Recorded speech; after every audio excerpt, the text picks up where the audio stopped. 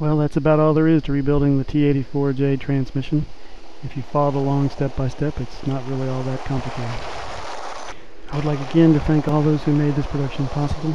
I hope that you've enjoyed the rebuilding of the T84J as much as I did actually rebuilding the transmission. Here's wishing you many miles and smiles on the open road in your Jeep with your rebuilt T84J transmission.